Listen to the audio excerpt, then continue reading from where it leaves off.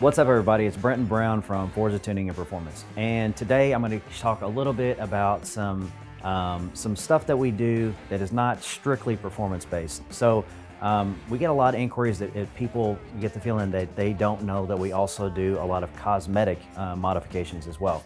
So I'm gonna talk about that a little bit and just kind of highlight some stuff. So right now I'm in the front of the shop, this is our lobby. Uh, normally you always see us in the back of the shop. So a little bit different scenery.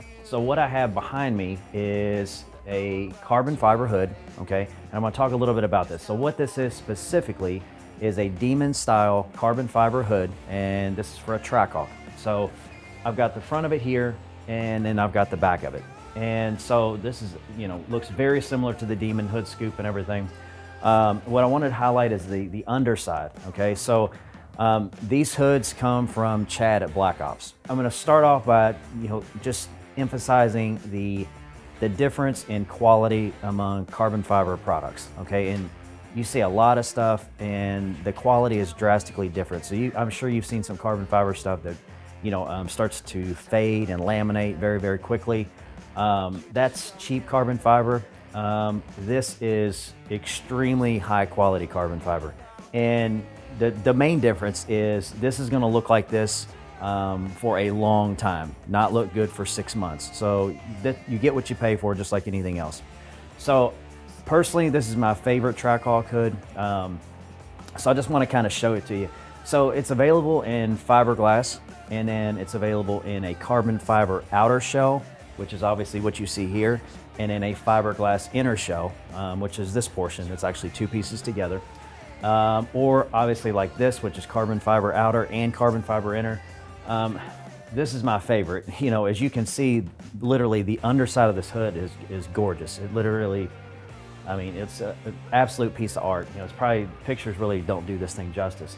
But I want to highlight this portion right here specifically. So this is a fully functional ram air hood. So what they do is they've got a piece of clear Lexan right here, and it allows you to basically you can look through the Lexan and you can see the carbon fiber weave and they've already got this wired for you. They, they've ran wires through um, the inner and outer pieces of the hood um, so you can run LED lights inside here and backlight this, um, light out through the front of the scoop. Uh, made it very easy for you to, you know, add LEDs if you want to. And then obviously you can see the air coming in, obviously through here and through the entire scoop and it's being funneled over here and this is where the air filter would be.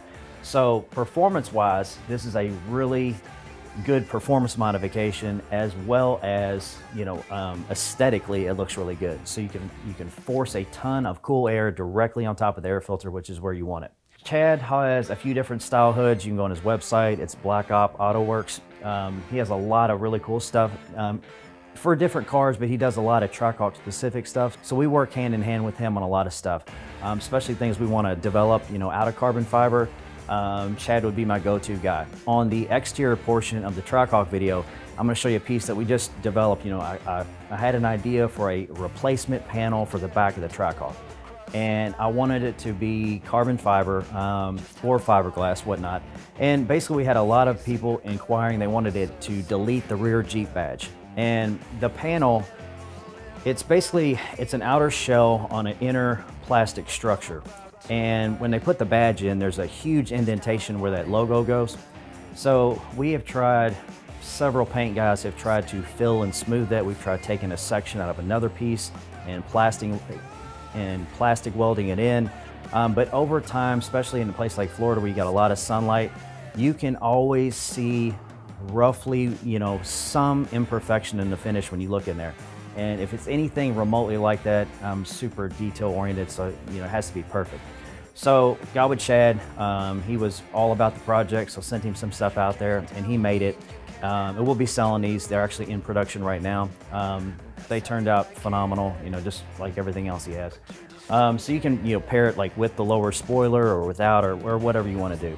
And actually the Trackhawk that we're going to show you the um, the black one, it has a lot of stuff that Chad offers on that one. So that's gonna be a perfect example to show you some different stuff that, you know, um, is not only available to him, but different things that we can do to the Trackhawk.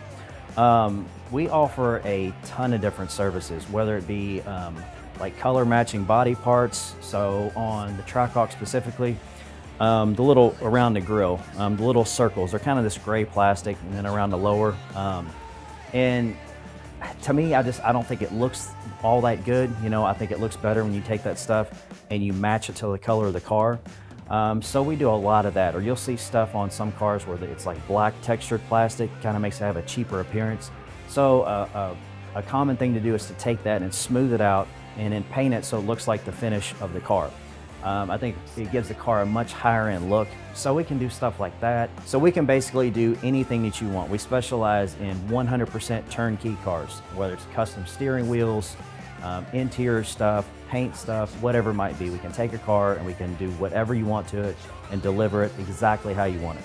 So this is the carbon fiber hood. Um, I'm gonna kind of continually show y'all not only some performance stuff, but some different stuff that we do um, cosmetically. Um, just maybe, it, if nothing else, it might give you some ideas for your own project.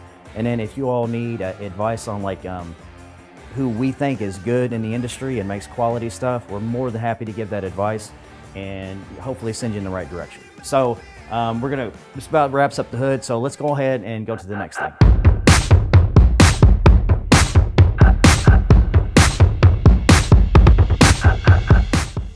Hey there guys, this is Logan from Forza Tuning and Performance and uh, today we're going to be doing a crank pin kit um, and changing the, the stock pulley to an ATI pulley on this 2018 Trackhawk. Okay, so this specific Trackhawk here is actually pretty cool, uh, not other than that it has a 6.2 uh, supercharged Hellcat engine in it. It also is a very rare production color. This car actually only had 33 of them made in this color here. It is blue slate pearl and um, it's actually a, a, really nice color. I've only uh, seen a few of them uh, personally, and this this is one of the top-notch colors out of all the Trackhawks I've seen, and uh, it actually clashes really good with carbon fiber. So if you have one and you want to bring it in, we can put some carbon fiber bits on it. I'd love to do it. So it involves changing this crank pulley. Um, we do remove the whole top core support, all the all the front bumper, um, just so we're able to take the radiator out without damaging it. So if you'd like to see exactly what go into these cars, you could check out the Ultimate Trackhawk series. Um, it explains every single little bit that you need, and if you're interested in getting a kit like this, um, that is something I would definitely check out for yourself. But now uh, we're gonna go over to Brent working on his Lamborghini.